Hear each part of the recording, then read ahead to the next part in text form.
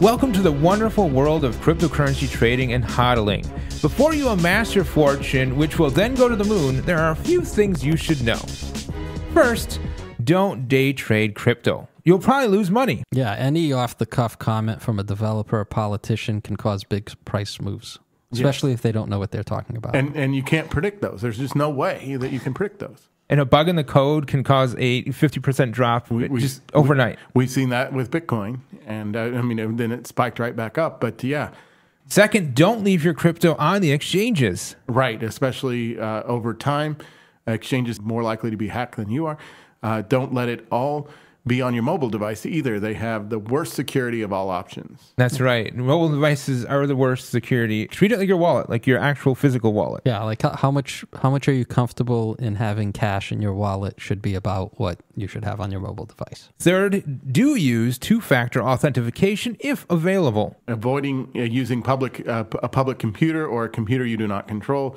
And uh, this is just in general. I mean, if you use a library computer and log on, you might forget or type in that hey, remember my password, and then uh, Oh, you don't even know what's running on the background There of might, that there computer might in be the a first place. keylogger. You might have three or four computers at home, and you might want to limit the ones you use for crypto. Fourth, create a unique password for each exchange and back up your wallets. Yeah, not just the cloud. Create a physical backup, whether they are paper wallets, DVD burned with the backup files, or even a USB flash drive. That's my way I like to go. USB flash drives. Yeah. in multiple copies in different locations. Fifth, you ought to be aware of the laws and regulations in your local jurisdiction, even if you have no plans in adhering to them. This is a no brainer. I mean, you, you need to be aware and then you need to make the decisions on how you're going to comply. Sixth, diversify and hedge. So diversify the locations of your backups. Uh, you know, you don't want to have everything in your home and then have a fire. This is especially important if you're the only one that knows how to access the crypto and you've made no accommodations.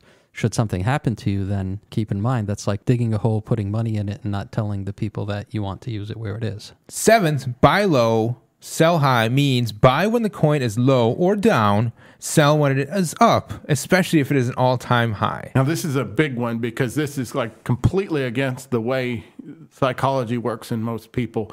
Um, when you when you see a coin shooting to the moon, everybody gets real excited, and that's when people think they want to buy. Um, when when coin goes down, it it just people get kind of depressed and they don't want to buy, and they even will sell.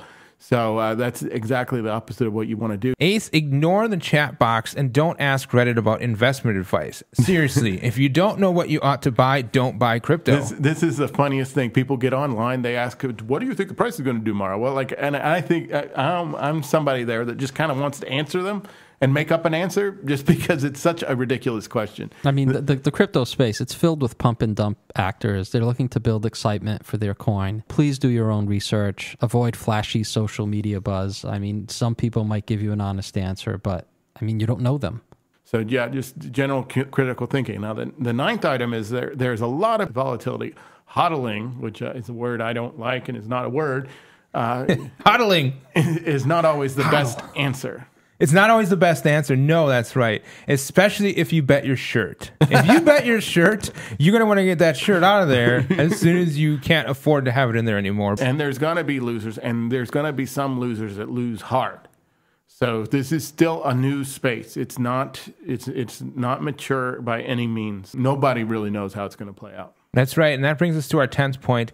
You don't know what's going to happen. No one does. And, and in fact, if someone tells you they know what's going to happen, they're probably trying to sell you something so they make a profit. Right? They'll probably be the ones that sell it to you too. If they know exactly what's going to happen, they don't need to tell you anything. They Right. can just take action on that That's right. yeah. information. and they're- they'll do better if if they do it by themselves than have you go along with it. Now that we've covered those points, you're ready to head out into the world of crypto trading. Best of luck navigating the chaotic, irrational, and nonsensical waters of cutting edge fintech. And one thing is using it. Using it. I like using it Spend and replace. because that's where the real value comes from. That's right.